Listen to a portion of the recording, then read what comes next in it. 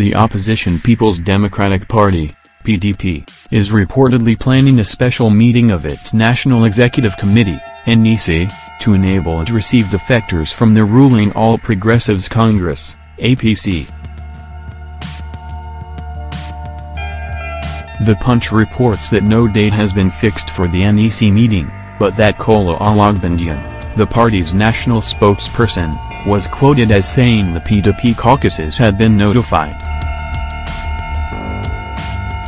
According to Ologbondiyan, none of the defectors would be treated with disdain. We are planning a special NEC to welcome the defectors into our midst. We want to welcome them officially to their home. Don't forget that these men are coming from the National Assembly as senators and members of the House of Representatives. So, we will organize a special NEC to welcome the first set and other NEC meetings will follow as we receive them.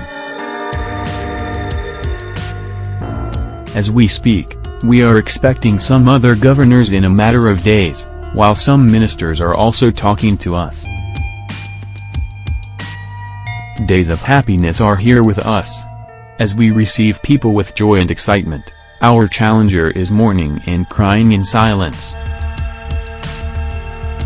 That cry will be with them for long because many of their members are still going to depart from their home, he said.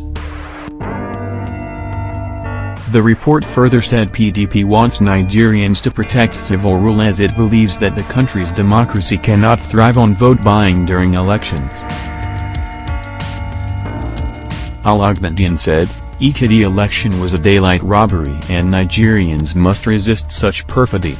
Nobody should be allowed to trample on our rights. Our democracy can only thrive if there is freedom of the press.